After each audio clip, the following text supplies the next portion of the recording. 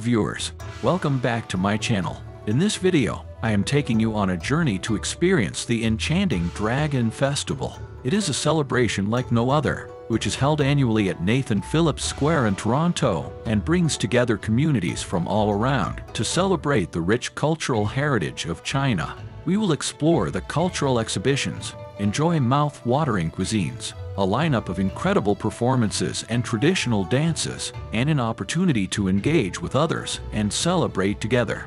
So make sure you stick to the end of this video and hit that subscribe button if you haven't already.